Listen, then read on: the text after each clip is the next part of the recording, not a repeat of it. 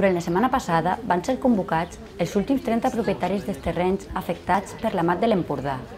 Es tractava de l'última oportunitat de pactar abans de dur en lloc les expropiacions forçoses de les seves finques. Este precio es una buena valoración con la finalidad de no tener que seguir todo el proceso de valoraciones, de cartas, de citaciones, de tal y de. Pero usted como propietario es que decide que 7.250 poco más.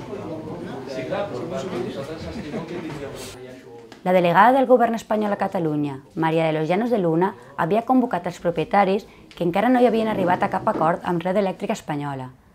Aquestes són les darreres expropiacions forçoses d'un tram que permetrà connectar la MAT amb la línia soterrada de Baixàs, a França. El govern espanyol va atorgar al projecte de la MAT la consideració d'utilitat pública, de manera que les expropiacions es poden executar sense acord amb les persones propietàries. El que està molt en dubte és que sigui d'utilitat pública, no, aquest projecte. Vull dir que tenim gairebé tres vegades més de potència instal·lada de la que necessitem. I clar, la mata els interessa molt per poder evacuar cap a Europa doncs, tot aquest excedent elèctric. No? Eh, Aquest projecte està ple d'irregularitats. O sigui, eh, Convergència eh, va, va dir que no hi hauria cap casa que estigués a menys de 100 metres, ni cap població que, que estigués a menys de 500 metres, que per això vetllaria. I hi ha cases que estan a, a 20 metres, a 40 metres, hi ha poblacions com és Fellines, on, te, on te serà aquesta tarda, que està a 250 metres. Esta casa eh, está afectada por el trazado de la MAT, ¿vale? Eh, en el momento de ahora mismo están construyendo todas las torres anteriores y posteriores del tramo y bueno, ahora mismo nos encontramos en que de aquí poco van a empezar a construir aquí, que la torre exactamente va como entre 10 y 15 metros, 10 y 20 más bien, de la casa y cuando empiecen, pues bueno, eh, tendremos que ir porque claro, los cables a 17 metros de la vivienda, pues no puede ser. Entonces, eh, este punto es justamente esta torre, es uno de los puntos más críticos porque todos sus reglamentos y toda su normativa de distancias de seguridad y tal, pues las están incumpliendo.